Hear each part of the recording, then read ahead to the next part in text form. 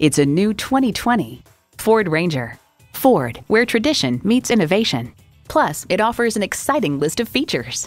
Intercooled turbo inline four-cylinder engine, four-wheel drive, automatic transmission, trailer hitch receiver, streaming audio, wireless phone connectivity, dual zone climate control, aluminum wheels, electronic shift on the fly, rear parking sensors, and Wi Fi hotspot.